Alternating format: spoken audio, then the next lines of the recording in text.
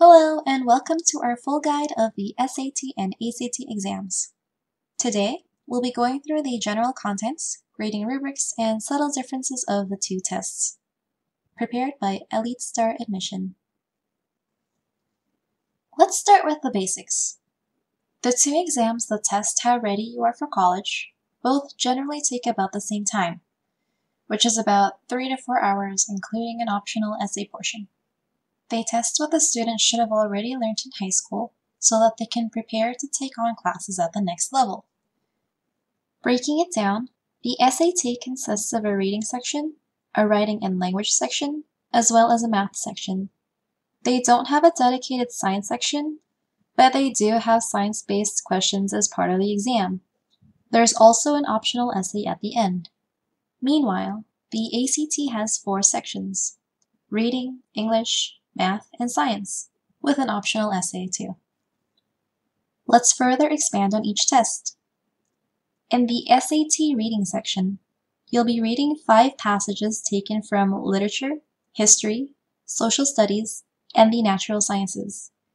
You will then answer 52 questions, which vary from determining the meaning of words in context, deciding why an author included a certain detail, finding the main idea of a passage, and comparing two passages, among other things.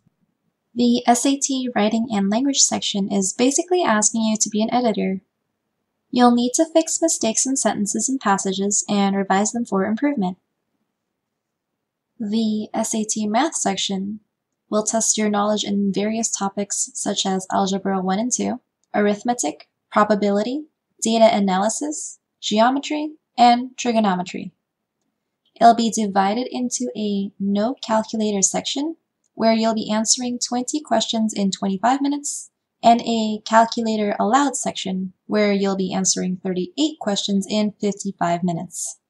Most of the questions in both sections will be multiple choice, but there will be some that require you to produce your own answers and mark them on a grid printed on your answer sheet. As for the ACT, their English section consists of 75 multiple choice questions. You will have 45 minutes to answer questions on grammar, punctuation, sentence structure, and rhetorical skills. There isn't really anything you need to be memorizing, but it'd be best to brush up skills regarding subject-verb agreement, pronoun agreement, adjectives and adverbs, comparisons and superlatives, punctuation, and conjunctions. Just remember that good writing should be clear, consistent, concise, and incomplete sentences. The ACT Math section requires you to answer 60 multiple choice questions in 60 minutes. Their six question types usually include pre-algebra, elementary algebra, and intermediate algebra questions, along with plane geometry and coordinate geometry, and some trigonometry questions. The ACT reading section consists of 40 multiple choice questions that need to be answered in 35 minutes. There will be four passages on prose fiction, social studies, humanities, and natural sciences for you to read and 10 questions to answer per passage about their explicit and implicit meanings. The ACT Science section has 40 multiple choice questions you should finish in 35 minutes. This section consists of seven science based passages presented with graphs, charts, tables, and research summaries on topics such as biology, chemistry, physics, and the earth space sciences such as astronomy, geology, and meteorology. Most of the questions can be answered from the information presented, but be prepared for three to four questions that may require outside knowledge, which includes looking up data and trends, making predictions, and synthesizing information. Whichever test you decide to take, we recommend writing for both essay sections. Not only do some schools require it, but it could boost your scores and impress your admissions officer. For more information on why you should take either tests if they're optional now, a possible alternative test, and more college advice, feel free to check out our Instagram page and the rest of our YouTube channel. While it may seem like a lot to go over in such little time, some students have actually considered the ACT to be more direct and therefore easier and quicker to answer. It's tough to decide which test is better for you since different students have their own preferences based on their strengths and weaknesses. The SAT is basically 50% math and 50% English, while the ACT is divided pretty equally between these four sections mentioned.